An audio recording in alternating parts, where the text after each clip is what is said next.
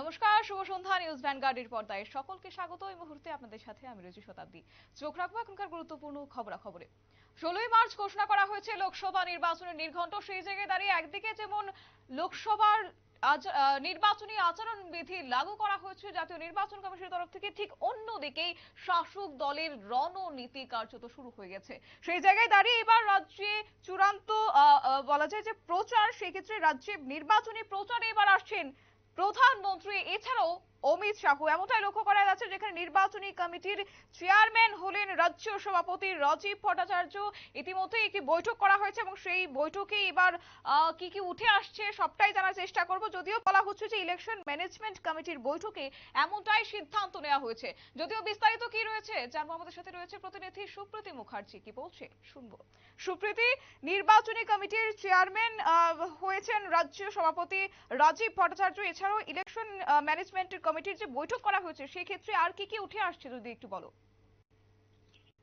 দেখো শতাব্দী নির্বাচনের ধাতে কাঠি পড়ে গেছে, যেটা আমরা বারবারই বলছি, এবং নির্বাচনকে কেন্দ্র করে কিন্তু শাসক দল, বিজেপি ইতিমধ্যেই তাদের জোর তৎপরতা চালিয়ে যাচ্ছে। এবার আজকে একেবারে সোমবার বিকেল নাগাদ ইলেকশন ম্যানেজমেন্ট কমিটির একটি বিশেষ গুরুত্বপূর্ণ বৈঠক অনুষ্ঠিত হলো প্রদেশ বিজেপি কার্যালয়ে। যে বৈঠকে আজকে উপস্থিত ছিলেন রাজ্য সভাপতি ভট্টাচার্য রাজ্যের মন্ত্রী প্রণজিৎ সিংহ রায় ছিলেন রাজ্য সাধারণ সম্পাদক অমিত রক্ষিত থেকে শুরু করে মহিলা মোর্চার সভানেত্রী মিনি মজুমদার, তার সঙ্গে তোমার বিজেপির একাধিক কার্যকর্তারা উপস্থিত ছিলেন আজকের এই বৈঠকে। যেখানে তোমার রানা ঘোষ থেকে শুরু করে আমরা দেখেছি রবীন্দ্র ভট্টাচার্যের উপস্থিতি, আমরা দেখেছি একের পর এক নেতৃত্বের উপস্থিতি সেই জায়গায় লক্ষ্য করেছি।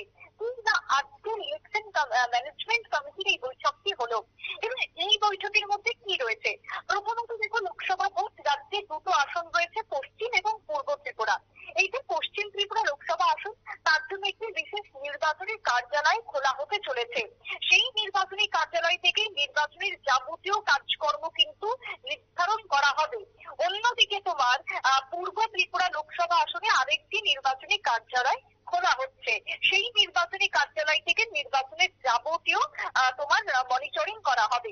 এবার পশ্চিমের ক্ষেত্রে কোনটা নির্বাচনী কার্যালয়? তা আমরা বিধানসভা ভোটের পূর্বেও দেখেছিলাম যে বিদুরকর্তা চৌমোহনীতে যেখানে তোমার নির্বাচনী কার্যালয় অস্থায়ীভাবে গড়ে তোলা হয়েছিল এবং যদিও সেটিকে পরবর্তীকালে ভেঙে ফেলা হয়। নতুন ভাবে আবারও সেই জায়গাতেই নির্বাচনী কার্যালয় গড়ে উঠছে। লোকসভা ভোটকে সামনে রেখে দু একদিনের মধ্যেই তা সম্পন্ন হয়ে যাবে এবং সেখান থেকেই লোকসভা কেন্দ্রের পশ্চিমের যাবতীয় কাজকর্মের মনিটরিং চলবে বলেই জানিয়েছেন রাজীব ভট্টাচার্য অন্যদিকে তোমার পূর্বের যে লোকসভা আসন রয়েছে সেই লোকসভা আসনের জন্য আমবাসাতে এবার তৈরি করা হচ্ছে একটি নতুন নির্বাচনী কার্যালয়। আমবাসাতে যে কার্যালয় তৈরি হচ্ছে, সেখান থেকে পূর্বের যে তিরিশটি বিধানসভা কেন্দ্র রয়েছে, সেই তিরিশটি বিধানসভা কেন্দ্রের যাবতীয় কাজকর্ম মনিটরিং সবটাই চলবে ওই কার্যত কার্যালয় থেকে, অর্থাৎ নির্বাচনী কার্যালয় থেকে। এবার হচ্ছে দেখো আমরা যেমনটা উল্লেখ করছি এই মুহূর্তে নিউজ ব্যাংকারি সর্বপ্রথম ব্রেক করল যে খবর যে লোকসভা ভোটের প্রচার সেই প্রচারে আসছেন প্রধানমন্ত্রী এবং স্বরাষ্ট্রমন্ত্রী অর্থাৎ দেখো গোটা দেশ জুড়ে এই লোকসভা ভোটের প্রচারে প্রধানমন্ত্রী কিন্তু যাচ্ছেন বিভিন্ন প্রান্তে গোটা দেশ জুড়ে তিনি প্রচার করছেন বাংলা থেকে শুরু করে তেলেঙ্গানা আহ, থেকে শুরু করে দক্ষিণের একাধিক রাজ্যতে কিন্তু চষে বেড়াচ্ছেন প্রধানমন্ত্রী।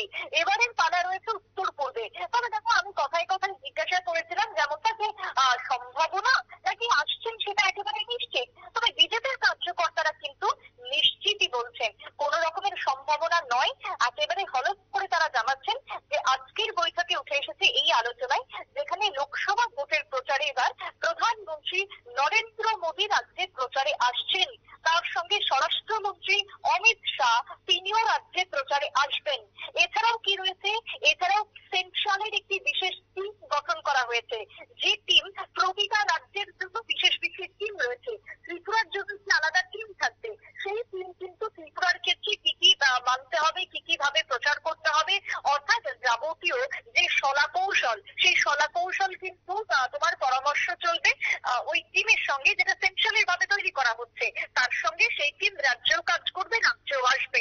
অর্থাৎ ভোট প্রচারকে কেন্দ্র করে হেভিওয়েট প্রার্থী হেভিওয়েট নেতৃত্বরা যেরকম ভাবে প্রচারে আসবেন, তার সঙ্গে বিশেষ বিশেষ যারা কাজের সঙ্গে জড়িত রয়েছে, যারা তোমার টিম ম্যানেজমেন্টের সঙ্গে রয়েছে তারাও কিন্তু এই মুহূর্তে যথেষ্টভাবে তৎপর এবং তারাও রাজ্যের বুকে আসবেন।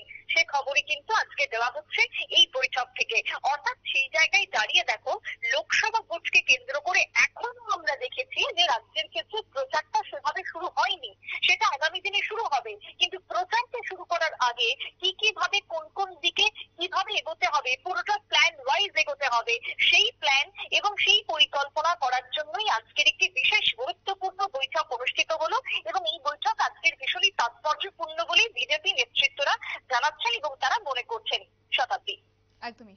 অসংখ্য ধন্যবাদ সুপ্রীতি। কথা বলছিল আমাদের প্রতিনিধি সুপ্রীতি মুখার্জি আমাদের সাথে ছিল। অর্থাৎ সেক্ষেত্রে বলা যায় শুধুমাত্র এখন দিন গোলার পালা, তবে আর মাত্র কিছুদিনের অপেক্ষা এবং সেই জায়গায় দাঁড়িয়ে এবার শেষ প্রচারে কোনো ধরনের খামতি রাখতে নারাজ বিজেপি এবং সেই জায়গায় দাঁড়িয়ে এবার নির্বাচনী প্রচারে আসতে পারেন প্রধানমন্ত্রী নরেন্দ্র মোদী এবং স্বরাষ্ট্রমন্ত্রী অমিত শাহ। নিয়ে নিচ্ছে ছোট একটি বিজ্ঞাপন বিরতি। সঙ্গে থাকুন।